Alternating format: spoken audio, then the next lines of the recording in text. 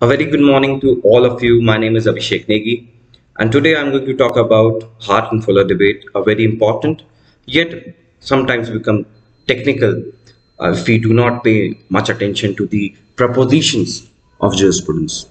So Hart and Fuller debate is actually, if we see deeply, are based on two schools of thoughts. And it is actually a debate about two schools of thought. On one hand, we have positive school and on the other hand we have natural school. So be before talking about Hart and Fuller debate and uh, what, what, what are the con contents of the debate let's start with these school of thoughts. So this debate this debate is actually about what the law is and the what and what the law ought to be and or what law should be. So starting with the positive school of thought which bases its premise on the uh, argument about what law is. For example, one of the most famous and a champion of English school of jurisprudence is Austin and he defined law that is that law is the command of the sovereign backed by sanctions. That means law is the command it is coming from the from the king because not in these times but when the law was evolving the dominance of kingship was there. That means there was a saying that king can do no wrong or king is the fountainhead of justice. So if king is the fountainhead of justice and if the words of king, king becomes the law we have seen that uh, whatever the king utters will become the law. And that is why the Austin bases its premise that the law is nothing but a command of the sovereign. Command of the sovereign. Sovereign here is basically the ruler or the king. He also added that law is the command of the sovereign backed by sanction. That means there has to have a sanction. And if it's, it, it has been backed by sanction, that means the subjects are under the duty to follow that command. Here, there are many uh, uh, propounders of uh, positive jurisprudence and English jurisprudence. There are many uh, philosophers who supported actually this school of thought. But this definition of Austin or the positive notion of uh, uh, jurisprudence, the positive understanding of law has many lacunas or are sometimes become little problematic. For example, basically the first problem is actually that the here the sovereign is positing or the sovereign the command is, has been positioned or posited by the sovereign. Now if a sovereign has said something or a law has been made by a sovereign the positive school will say that we will not see whether that law is right or wrong or whether that law is just or unjust we will just say that whatever the king has uttered, the whatever the sovereign has made the rule or the law, it is the law.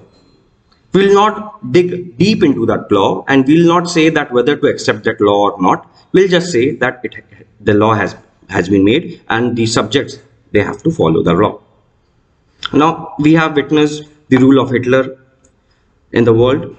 So, this kind of notion the, the, this school actually supports the hitler made laws hitler made constitution where if a sovereign has made something no matter it is how much it is unjust how no matter how much it is biased no matter which uh, object it is serving the subjects need to follow that law.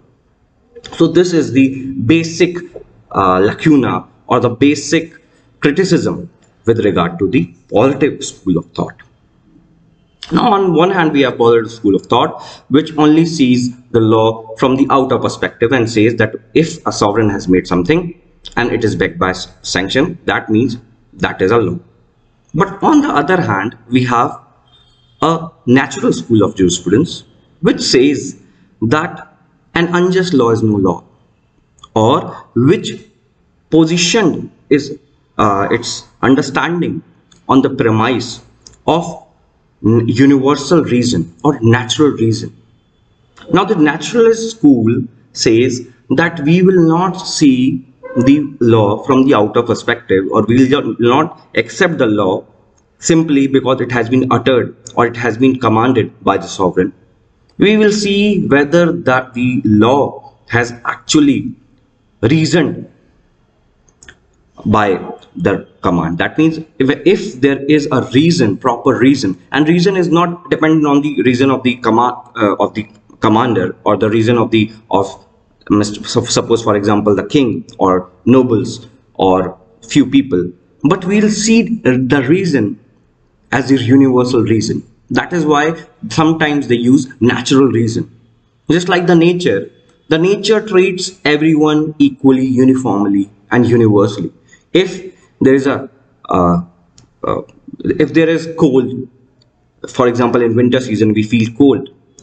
So the winter is same for all. It doesn't it does not happen that somebody is feeling cold and somebody is not feeling cold. Just like the sunlight the sun rises from the east for everyone. Likewise the natural law says that we will see we will introspect it or we will uh, inspect the law from the perspective of the universal reason or natural reason. So this is the basic premise. That means that if we'll see that the reason is actually biased or there is not a proper reason, universal, universal reason, we will challenge the law and we will say that this law is actually unjust. It is uh, it should not be there. That is that is why it, it says that what the law should be what the law ought to be. They do not simply accept the law as commanded by the sovereign. They will inspect it from the lens of the reason. That is sometimes called morality. Because morality is changing ever changing very subjective. And this morality is not morality of a community of or a person or a commander. This morality is universal morality or universal reason. So we will weigh the law from the lens of the universal morality or the from the lens of the universal reason. So on one hand we have law which is simply put by the commandant and you have to the subjects they have to follow the law. On the other hand we have law which has been has which has to be has to come from the scrutiny of the reason universal reason or universal morality.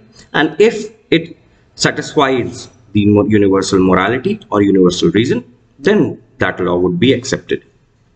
So these are the two basic premise of positive law which say what the law is and the natural law which says what the law should be or what the law ought to be and the reason why I'm explaining to you before talking about Hart and Fuller debate is because it is very important to know the basics of why the why this debate is so popular. This debate is actually premised on these two notions or these schools of thought. So now coming of the Hart. since I have already talked about one of the major uh, champion of uh, English jurisprudence, which which is Austin, Hart has actually not uh, accepted the Austin's definition fully. It does not say, it does not, uh, the Hart does not talk about actually the uh, uh command of the sovereign thing, but it says that law is the uh, system of rules. And what is this, these systems? These systems are actually divided into two parts. The first is the primary rule primary rule is actually duty imposition rules. For example, the primary rule will say that uh, jumping off red lights is punishable. So this is the primary rule. It imposes the duty on the subjects. So almost 90% of the law, if you see in India, are actually, according to Hart, is primary rules. Secondary rule are the rules of recognition. Rules of recognitions are actually the backbone, of the system because the, the secondary rules are actually recognizes the primary rule. Primary rule is the duty imposition, which imposes the duty on the subject.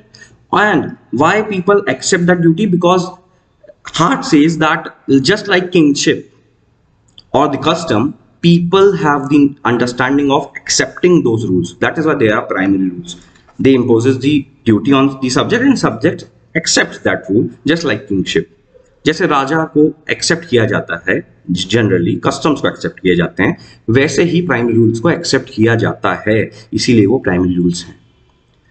In secondary rule secondary rules are the rules of recognition which which are actually why I am saying it is the backbone because it actually we know that law is is dynamic in nature law is ever changing and there, there's nothing called static law law cannot be static and these primary rules cannot be static in the dynamic world. So how we can change that law, how we can amend that law through the secondary rules, which, which provides the recognition to the primary rule. So on one hand, we have primary rules, which imposes the duty. And on the other hand, we have secondary rules, which are actually uh, puts the dynamism in the in the primary rule thing. So for example, if we have a rule, for called uh, jumping of red light would punishable, the secondary rule will say, yes, it is punishable, but we'll amend it. For example, before uh, Motor, Motor Vehicles Act amendment, we have jumping of uh, red lights. Uh, if somebody jumps the red light, suppose there is a fine of 50 rupees, suppose there is a fine of 50 rupees. But we have witnessed that the society are not following this rule properly and people are okay with paying 50 rupees. So the secondary rules, which are the rules of recognition to the primary rules, they have seen that the primary rule is not being followed by the people properly. That is why they amended the primary rule and they said, okay, now the fine would be instead of 50, it's, it is 5,000. Now we will see that if people will obey that law, that rule, then the secondary rule would be and the primary rule would be settled. But if this primary rule of increasing the uh, penalty of from 50 to 5000 if it, it, it does not follow then again the secondary rule will come into the picture that is rule of recognition and again it will amend the primary rule so on one hand we have primary rule which imposes a duty and on the other hand we have secondary rule which are the rules of recognitions which uh, through which we can amend the primary rules that is why we i have said that it is the backbone of the to, to, to the whole system as well as the primary rule. Now, having said that, if we see from the Hart's perspective, we have witnessed that on one hand we have primary rule and on the other hand we have secondary rule. And Hart being a positivist, that means he does not believe in morality. He does not support the idea of morality. And being a positivist uh, uh, school uh, person, the Hart says that believes in what the law is that means jo law hai whatever has been posited by the uh, commander or the sovereign that would be a rule or the law but here Hart has actually uh, threw the morality or threw the reason from the doors and he let it enter or he let the morality enter from the window why I'm saying this? Because if you see the secondary rules, secondary rules which are rules of recognition is actually serving the universal morality or the universal reason. Since law is a dynamic and to provide this dynamic nature to the rules, second rule is actually what? They are actually coinciling with the universal morality because universal morality is what? It changes from time to time. For example if i put the understanding of Hart in today's uh, era in india i can say that for example uh, uh, section 377 of ipc homosexuality uh, is prohibited is punishable but the, the primary rule, that is article uh, section 377 which says that uh, homosexuality is pun punishable but we have seen from time and again that we have witnessed that in india also section 377 has been watered down through what? Through secondary rule. Okay, so the secondary rule that is the which is which is actually coping up with the change in the understanding or change in the morality of the people, change in the reason of the people, the primary rule is also changing. That that means that in the definition and the understanding of Hart also, the moral the morality is seeping in. The, the morality is coming into the picture, not from the front door, but from the back door. So morality is coming, and that is why it is one of the criticism of Hart's understanding that on one hand he's saying he's not supporting the morality or the universal reason but on the other hand it is actually just just just like changing the name of morality in the name of secondary rules through secondary rules it is actually bringing the morality into the picture and that is what uh, Fuller also said. Fuller contradicted the Hart's uh, idea. That is that this rule of uh, prime this primary rule that is all or nothing uh, fashion has been uh, given by Hart. It says that whether primary rule has to be followed or not to be followed. That means if the law is there that means it has to be followed. This cannot be is, is, is actually not a practical approach to the law. And he says that the these rules he accepted that rules should be there. And but he says that in these rules we need to put inner morality to it. That means in these rules we need to put morality. We need to put the reason for that. And that is why he gave the principle or he, he, he gave he introduced three uh, eight uh, basic inner morality principles to it so the first principle would is law must be in the form of rules. He accepted that. I've already said that he accepted the, the, the rules. So he said that obviously law has must be in the form of rules. For example, we have in India also there are, we have we have many many rules to conduct the uh, the actions of the human beings.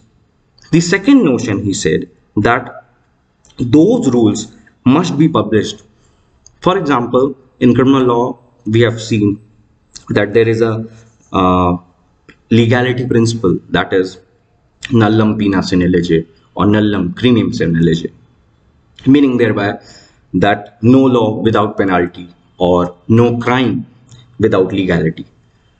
That means if in India I'm talking about, there is a criminal law, it has to be published so that it has to be understood and it has to be known to the subjects.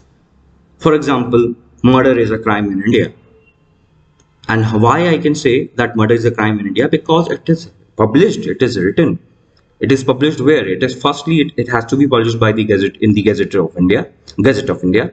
And after the Gazette of India, I have seen that in Indian Penal Code, section 300 talks about murder. So murder is a crime here. For example, uh, suppose that wearing a blue shirt is a crime in India, if I say, can the parliament make this law? Not going that whether it is reasonable or or not.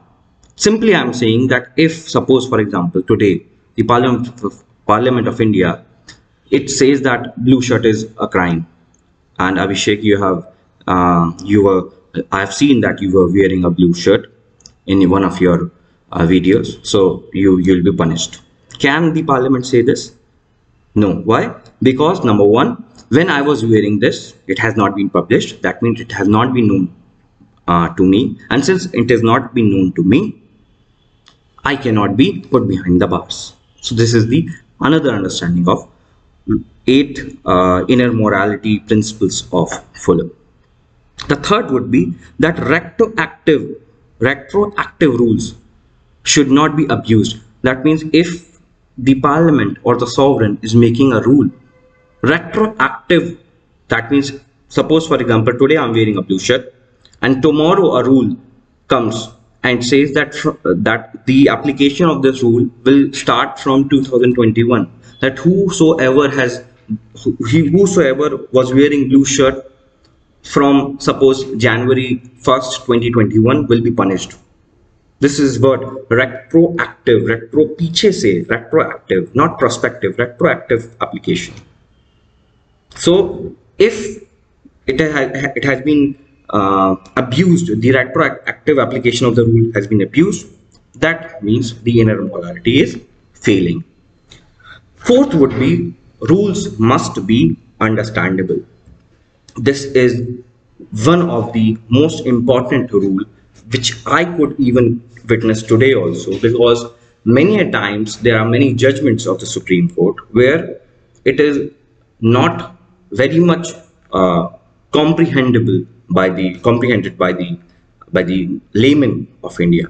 That is why there is uh, again a school uh, of thought is actually developing so that it is saying that the language of the Supreme Court or the language of the law should be made so simple that it should be understandable by every person. Every layman should be, uh, the law should be understandable to every layman. And that is why uh, the Fuller also based its premise on that that uh, if you if a sovereign is publishing a rule, the rule must be understandable. That means the the wording should be lucid and to the to the point and very simple in language. The fifth one is actually the rule must be must not be in in contradictory in nature. That means suppose today uh, the parliament or the sovereign they have made a law Suppose, for example, jumping red light is punishable. Tomorrow, the parliament says that jumping yellow light is punishable. And day after tomorrow, again, parliament says that, okay, uh, green light, jumping of green light is also punishable. So, in a way, they are contradicting their, their own rule. So, this should be avoided. We have many times we have seen in India also that they are, for example, they are contradictory rules. For example, in today also, for example, section 309 of IPC is there, which says that uh, uh, attempt to suicide is punishable.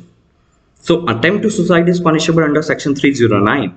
And if we see the Mental Health Act, section 115, which says that if somebody has been found attempting to uh, take his or her life, it will be accepted that that person would be suffering from mental uh, illness and he or she would not be treated under section 309 so on one hand we have section 309 on the other hand we have section 115 they are contradictory in nature. That is why the supreme court also they ask the uh, the uh, the stand of uh, the government of india from the solicitor general.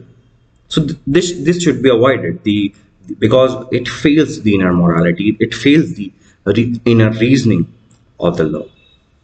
Now the the sixth rule would be the rule must not uh, require the conduct beyond the power of the affected person. That means the the rule should be reasonable to the subjects. For example if i put uh, tax 50% uh, tax on uh, the bpl card holders. So here the rule is actually failing the inner morality. Why? Because if i'm putting 50% taxation tax on the bpl card holders they will not be able to follow this rule because the proportion of their income or the burden which they can actually uh, financial burden which they can bear is actually not reasonable. So this also should be avoided.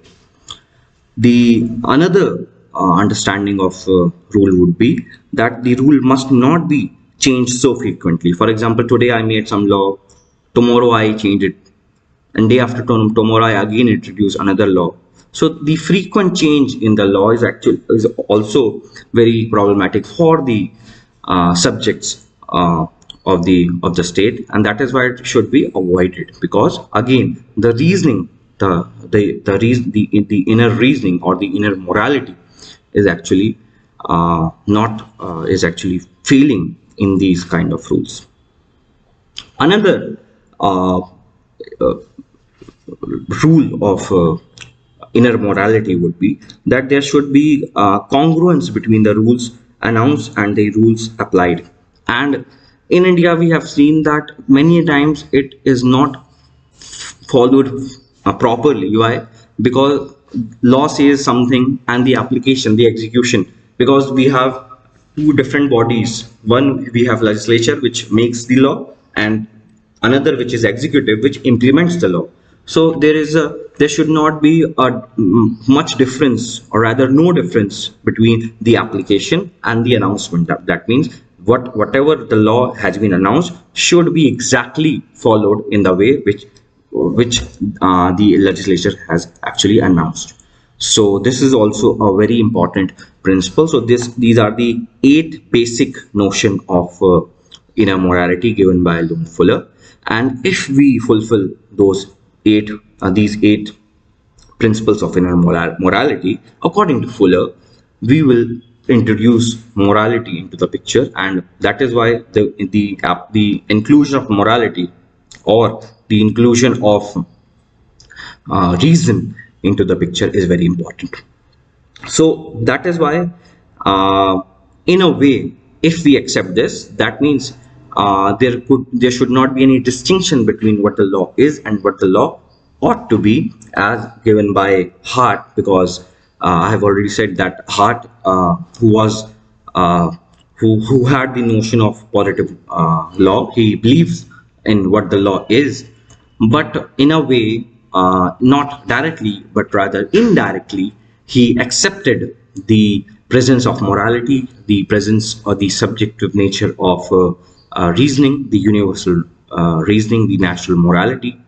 And that is why uh, the understanding of Hart has been criticized and says that it, the uh, he actually does not properly belongs to positive school because he indirectly accepted the uh, the universal morality. Fuller said that uh, he accepted the, uh, Fuller being actually he's not a naturalist but a realist but uh, even then also being a realist he said that uh, the inclusion of inner morality in, in the definition of Hart would be would, would actually make sense because if we cannot uh, accept if we cannot uh, introduce inner morality then the rules made by the uh, sovereign would be failed and uh, would not suffice the purpose as it was it the, the as the uh, primary rules are the duty imposition rules and uh, the subject would not fulfill his or her duty if we do not have a proper morality or we if we do not have a universal morality or a reason behind any rule. So with this, I think uh, I have uh, explained to you all uh, about the, the, the debate and uh, the uh, positive and the natural school uh, perspectives. And I'm not supporting anyone's school, anyone's perspective. I'm just simply putting that there are certain pros and cons and for every school uh, related to it. For example, positive schools have certain uh, pros with the with their definition of law, and natural schools they have certain pros in their definition. But there are certain lacunas and criticisms of all these schools, both these schools, naturalist as well as the positivist. Thank you so much. With this, I think uh, I have uh, uh explained to you the about the debate as well as the schools of thought. Uh, see you in the next class. Thank you.